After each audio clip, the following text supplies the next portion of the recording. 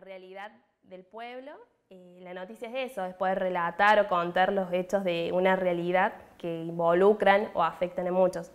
Entonces, en ese sentido, nuestras agendas, lo que construimos, lo que eh, cubrimos, de lo que hablamos, es lo que le está pasando al pueblo. Entonces, jamás podríamos separar la noticia de, nuestras producciones.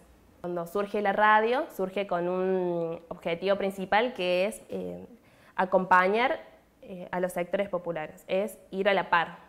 surge en una villa, entonces es eso, estar siempre desde abajo de las bases acompañando y dando voz ¿Y por qué darle la voz a los sectores populares? Porque son los que históricamente fueron eh, silenciados, visibilizados y muchas veces hablan por ellos.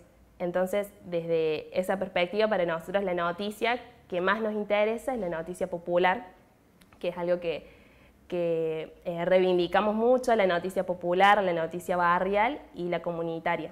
Entonces, por allí em, siempre desde la radio, cuando construimos nuestras agendas, pensamos, bueno, ¿en qué está pasando en el barrio? Ya sean problemáticas, como también iniciativas. Eh, después vamos un poco más allá y vemos, bueno, cómo le dan solución a eso, cómo se organizan. Entonces, por ahí, eh, la acción que sigue. Y todo eso también enmarcado, digamos, en un proyecto más amplio, no nos queremos quedar... Sí, la noticia chiquita, por decirlo de alguna forma, es importante, eh, por ejemplo, que... Mm, va a haber una feria en la plaza eh, de eh, Patricios Norte, el sábado de la tarde. O sea, bueno, es una noticia.